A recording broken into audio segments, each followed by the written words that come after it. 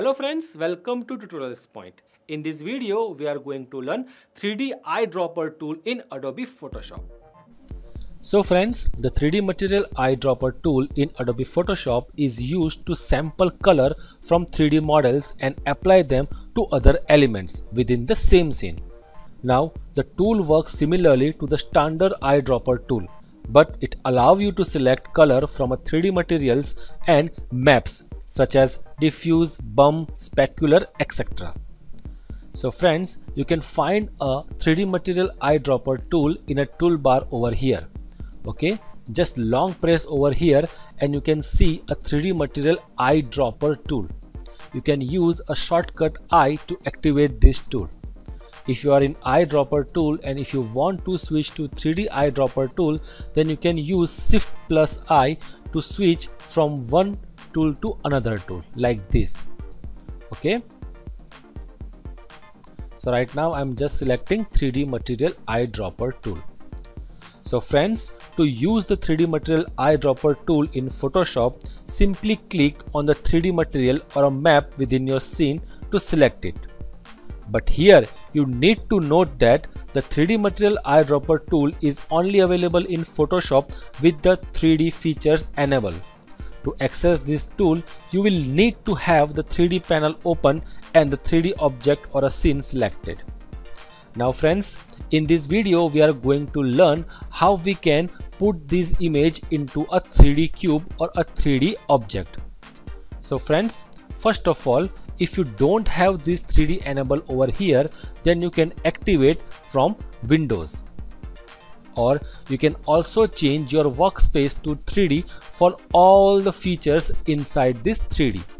So friends, first of all, we need to use a 3D material eyedropper tool to select any object and we paste that image into any 3D object from this tool which is called a 3D material drop tool. So in this video, we are going to learn 3D material eyedropper tool as well as 3D material drop tool this 3D material drop tool will use for paste that footage into the 3D model. So let's see practically how we can do that. So guys, first of all, we need to use a 3D eye material drop tool to select this picture. First of all, I am just unlock it and just click over here and it will be select this entire footage. Now to see the result, we need to create a 3D panel because right now we are in 2D. For that you need to go over here and here you need to select 3D. Fine.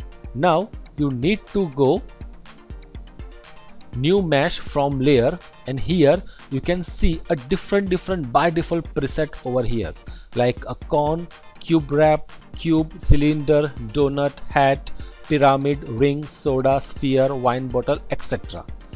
By clicking on any of these object, you can directly create a 3D object. So right now we are just creating a cube. So I'm just selecting this cube. Once you selecting this cube, your scene will be created in a 3D. Now it will be asking you, you are about to create a 3D layer.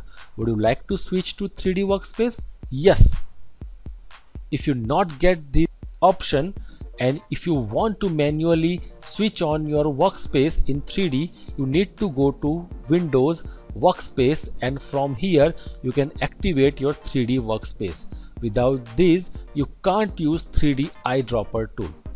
So guys as you can see you can see our footage over here. Now this footage is applied on a 3D cube but right now we can't see it.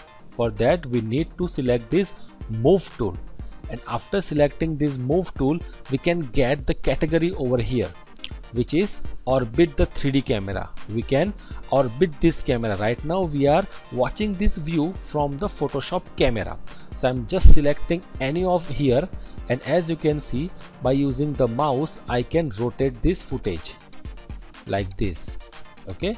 So as you can see our image is attached to this side of the cube. Now if I want to attach my cube on a left right top and back then what we have to do? First of all we need to select this 3d eyedropper tool. And then I'm just selecting this footage. Okay? After the processing my footage is selected. Now we need to paste over here. So for that we need to select this material drop tool. By using shortcut G you can activate this I'm just selecting this and simply click here. And your footage will be pasted over here. So I'm just selecting again my move tool and I'm just rotating this. Okay. As you can see my footage over here. Same you can also attach here. I'm just selecting my 3d eyedropper tool. Select this footage. And after that I'm selecting this material drop tool and select over here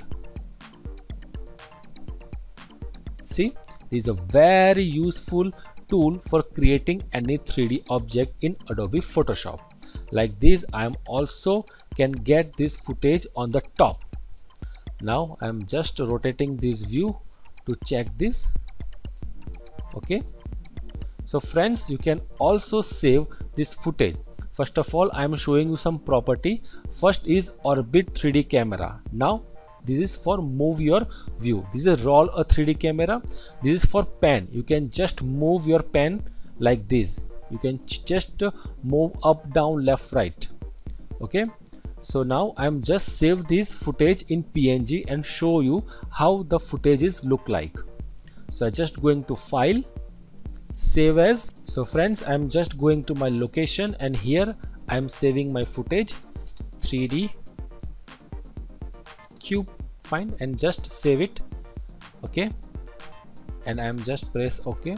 Now i am going to that location and show you how our footages look like. So friends as you can see this is our footage. I'm just open it result. So like this you can create a very creative footage in adobe photoshop using a 3d eyedropper tool. And now we are going to apply a 3d eyedropper tool on my footage okay so for that i'm just selecting 3d okay here i'm selecting new mesh mesh preset and now i'm going to apply my footage on soda.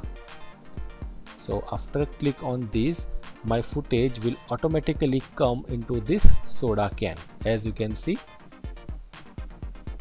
So friends like this you can create a lot of things using a 3d eyedropper tool in adobe photoshop.